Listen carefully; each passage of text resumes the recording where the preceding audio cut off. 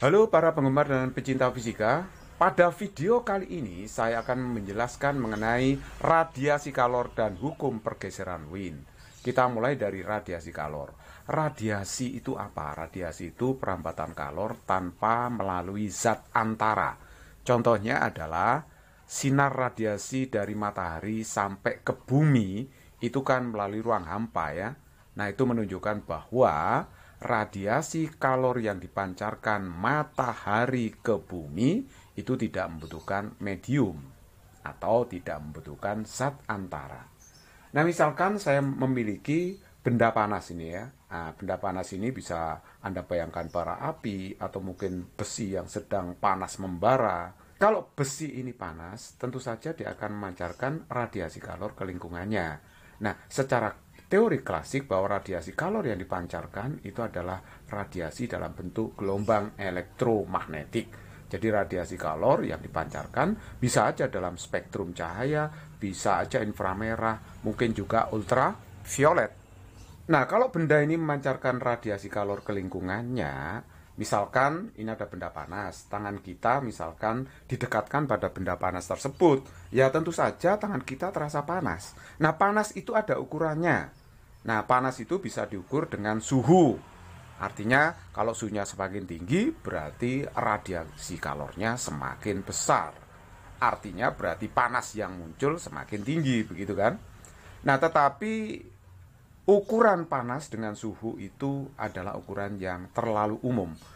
Ada ukuran lain untuk mengukur derajat panasnya radiasi, yaitu yang pertama dengan menggunakan intensitas radiasi. Intensitas radiasi benda panas dirumuskan oleh hukum Stefan Boltzmann. Nah, Stefan Boltzmann mengatakan bahwa intensitas radiasi itu berbanding lurus dengan pangkat 4 suhu mutlak benda. Nah, intensitas radiasi biasa dilambangkan dengan huruf I besar atau pakai W besar yaitu sama dengan E sigma T pangkat 4. Nah ini yang dikatakan intensitas berbanding lurus dengan suhu mutlak dipangkatkan 4. Oke, ini sudah saya beri keterangan ya. Jadi I besar itu atau W menyatakan intensitas radiasi atau rapat daya satuannya adalah watt per meter kuadrat. Sedangkan E kecil itu adalah emisivitas benda atau bahan. Nah, nilai E itu dari 0 sampai dengan 1. Kalau E sama dengan 0, itu adalah benda pemantul sempurna. Benda-benda yang bisa memantulkan radiasi dengan sangat bagus itu biasanya warna putih. Nah, makanya kalau misalkan kita upacara pakai seragam warna putih-putih supaya lebih nyaman. Karena warna putih itu lebih banyak memantulkan radiasi kalor daripada menyerapnya. Nah, kalau pemantul sempurna memantulkan seluruh radiasi kalor yang datang padanya. Tapi kalau misalnya baju Anda warna putih ya nggak mungkin memantulkan radiasi kalor seluruhnya. Pasti ada sebagian radiasi yang diserap. Makanya walaupun pakai putih-putih ya tetap aja Anda merasakan panas. Nah, kalau E sama dengan satu itu dikatakan sebagai benda hitam sempurna. Ah, benda hitam itu memang sangat bagus untuk menyerap radiasi kalor. Jadi kalau Anda upacara bendera dengan panas matahari yang terik pakai warna hitam-hitam, sebentar aja sudah merasakan panas sekali kan, tidak nyaman. Karena warna hitam itu memang lebih banyak menyerap radiasi kalor daripada memantulkannya. Nah, kalau baju Anda warna hitam, ya tidak mungkin semua diserap radiasi kalornya. Pasti ada juga yang dipantulkan. Kalau semua diserap, wah, ya bisa terbakar tubuh Anda. Nah, ini artinya kalau E-nya sama dengan satu itu benda hitam sempurna. Nah, kalau benda hitam sempurna berarti dia akan menyerap seluruh radiasi kalor yang datang padanya. Sama sekali tidak ada yang dipantulkan. Sigma kecil dalam rumus ini menyatakan konstanta Stefan Boltzmann. Nah, konstanta Stefan Boltzmann ini adalah senilai 5,67 kali 10 pangkat min 8 watt per meter kuadrat Kelvin pangkat 4. Nah, Stefan Boltzmann itu maksudnya dua orang ya, Stefan dan Boltzmann. Stefan dan Boltzmann itu masing-masing adalah ilmuwan dari negara yang sama yaitu dari negara Austria. Nah, sedangkan dalam rumus ini T besar itu menyatakan suhu mutlak benda. Suhu mutlak tentu saja dinyatakan dalam satuan Kelvin. Ukuran panas radiasi yang kedua adalah diukur dengan daya radiasi. Nah, daya radiasi itu dirumuskan I dikalikan A begitu. Nah, I tadi adalah E sigma T pangkat 4 kali A. Oke, misalnya kita memiliki bola panas. Misalkan ini bola besi yang sangat panas ya, bersuhu mutlak T besar. Dia akan memancarkan radiasi kalor ke lingkungannya. Nah, Berapa luas permukaan benda yang memancarkan radiasi? Tidak lain adalah luas permukaan bola. Jadi nanti A-nya diisi 4 pi R kuadrat di mana R itu merupakan jari-jari bola, sedangkan A itu adalah luas permukaan bola. Kalau ada benda panas bersuhu mutlak T itu memancarkan radiasi kalor ke lingkungannya. Berapa energi radiasinya? Kita bisa menggunakan rumus ini ya. E sama dengan P kali T di mana E itu energi radiasi, sedangkan P itu adalah daya radiasinya, T itu adalah lama terpancarnya. Nah, karena P tadi I kali A dan itu adalah ini kan, E sigma T pangkat 4. Nah, sehingga kita bisa merumuskan energi radiasi seperti ini. E di sini menyatakan energi radiasi satuannya joule, sedangkan T kecil itu adalah lama pemancaran radiasi. Jadi kalau semakin lama dipancarkan, ya semakin besar energi radiasinya. Oke, yang kedua saya akan menjelaskan mengenai hukum pergeseran Wien. Wien itu siapa? Wien itu adalah ilmuwan fisika dari Jerman. Nah, dia mengatakan bahwa kalau benda panas memancarkan radiasi kalor, maka panjang gelombang radiasi pembawa intensitas yang paling besar akan semakin kecil jika suhu benda meningkat. Nah, coba perhatikan baik-baik. Ini maksud saya menggambar benda panas ya, dengan suhu mutlak T memancarkan radiasi kalor ke lingkungannya. Nah, menurut Wien, radiasi kalor itu punya sifat mendua, bisa bersifat sebagai gelombang, juga bisa bersifat sebagai partikel yang disebut foton. Jadi pada zamannya Wien ini sudah cukup berkembang fisika kuantum ya, yang menganggap bahwa gelombang itu bisa bersifat sebagai partikel. Contohnya adalah cahaya, Selain gelombang, dia juga punya sifat partikel yang disebut sebagai foton. Nah, perhatikan baik-baik, Win ini membuat suatu percobaan, dia mencoba mengkaitkan mencari hubungan antara intensitas radiasi dengan panjang gelombang radiasinya. Nah, ternyata setelah digambar dengan berbagai macam suhu, dia menggunakan suhu rendah, suhu sedang, dan suhu tinggi. Ternyata dia memperoleh grafik-grafik seperti bukit ya seperti bukit-bukit gitu ya. Nah, kalau suhunya rendah, ternyata puncak bukitnya juga rendah. Suhu sedang lumayan, puncak bukitnya lumayan tinggi. Tapi kalau suhunya tinggi, ini puncak bukitnya paling tinggi di sini ya.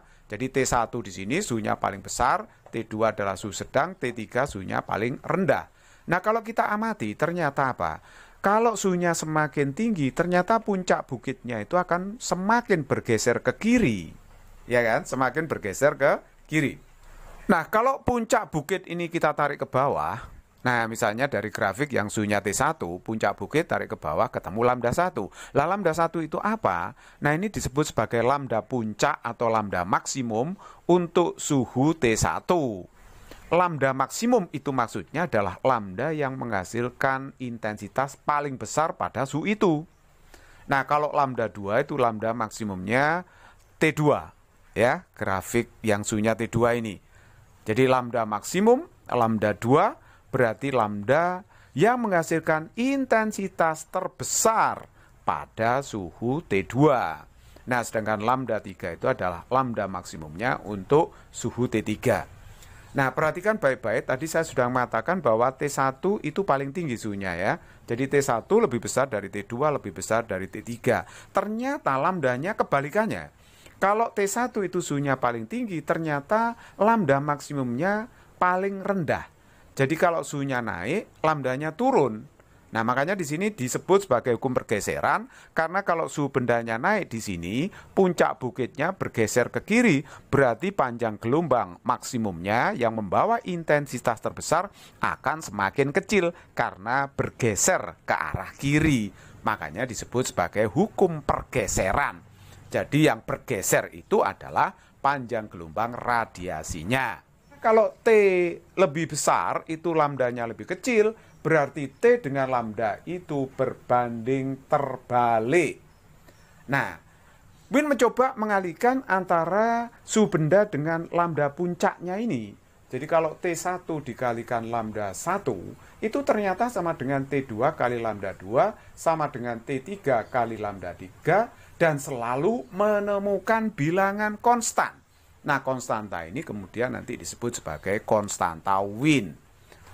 Nah, akhirnya Win menyimpulkan bahwa su benda dikalikan dengan panjang gelombang maksimum yang membawa intensitas terbesar itu selalu sama dengan konstan.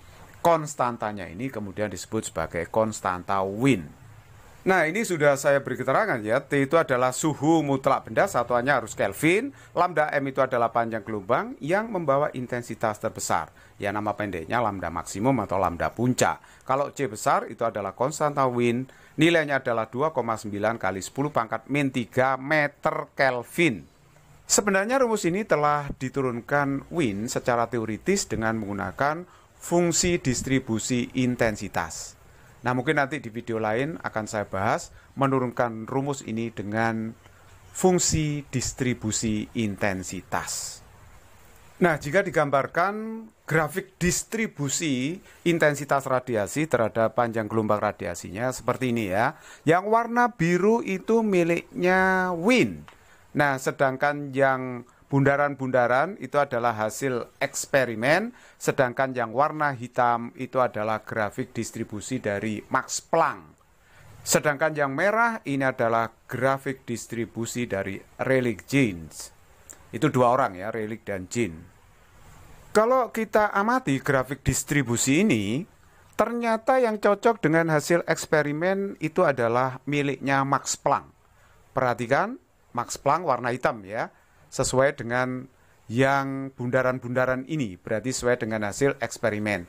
Kenapa Max Planck itu kok tepat sesuai dengan hasil eksperimen? Karena pada zamannya Max Planck fisika kuantumnya sudah cukup bagus gitu ya, sehingga hasilnya sesuai dengan eksperimen. Sedangkan grafik yang biru ini miliknya Win ya. Nah, yang lambda-lambda rendah ini ternyata masih cocok dengan hasil eksperimen, tetapi kalau di lambda tinggi menyimpang. Jadi kalau panjang gelombangnya besar, uh, tidak cocok dengan hasil eksperimen. Dalam grafik Rili dan Jin yang warna merah ini, kalau diteruskan ke sana, lambdanya bisa semakin kecil sehingga nanti bisa terperosok ke ultraviolet dengan panjang gelombang yang sangat kecil. Dengan intensitas yang luar biasa sangat tinggi, bahkan bisa mencapai tak hingga. Ya tentu saja itu akan menimbulkan bencana Nah, bencana yang ditimbulkan disebut sebagai bencana ultraviolet atau ultraviolet katastrofi. Kenyataannya kita masih hidup di bumi dengan tenang, dengan nyaman.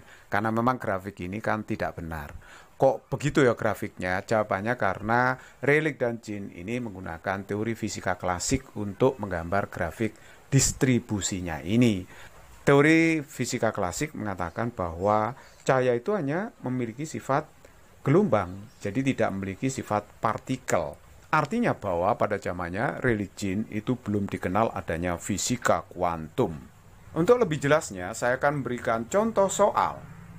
Contoh soal nomor satu, benda panas bersuhu 1000 Kelvin memancarkan radiasi kalor ke lingkungannya. Anggaplah emisivitas benda 0,5, konstanta Stefan Boltzmann 5,7 kali 10 pangkat min 8 watt per meter kuadrat Kelvin pangkat 4 berarti ini dibulatkan ya. 5,67 dibulatkan menjadi 5,7 berapakah intensitas radiasi yang dipancarkan? Dalam soal sudah diketahui suhu benda adalah 1000 Kelvin. Nah, terus kemudian emisivitas setengah, kemudian konstanta Stefan Boltzmann 5,7 kali 10 pangkat min 8 watt per meter kuadrat Kelvin pangkat 4. Kalau ditanyakan intensitas radiasi berarti yang dicari adalah I ya. Jadi itu E sigma T pangkat 4. Nah, E-nya adalah setengah, saya tulis pecahan aja sigmanya 5,7 kali 10 pangkat min 8 suhunya 1000 dipangkatkan 4 jadi 5,7 dibagi 2 itu adalah 2,85 Ini kali 10 pangkat min 8, 10 pangkat 12. Jadi hasilnya 2,85 kali 10 pangkat 4. Satuannya adalah watt per meter kuadrat. Soal nomor 2, ini ada logam berbentuk kubus pejal yang rusuknya 10 cm dan bersuhu 727 derajat Celcius memancarkan radiasi kalor ke lingkungannya. Bila konstanta Stefan Boltzmann diketahui seperti ini dan emisivitas logam seperenam, maka berapakah daya radiasi yang dipancarkan ke lingkungannya? Nah ini tadi yang memancarkan radiasi kalor ke lingkungan adalah logam berbentuk kubus, sisinya 10 cm ya, rusuknya 10 cm. Jadi kalau begitu luas total permukaan yang memancarkan radiasi kalor saya sebut A adalah 6 kali 10 kali 10 karena luasan salah satu sisi itu adalah 10 kali 10 kan. Nah ini ada 6 sisi jadi 6 kali 10 kali 10 cm persegi atau 600 cm persegi atau 6 kali 10 pangkat min 2 meter persegi. Sedangkan suhunya harus dalam Kelvin itu masih Celcius ditambah 273 jadinya 1000 Kelvin. Nah, sedangkan sigma konstanta Stephen Boltzmann itu adalah 5,67 kali 10 pangkat min 8. Emisivitas benda seper 6.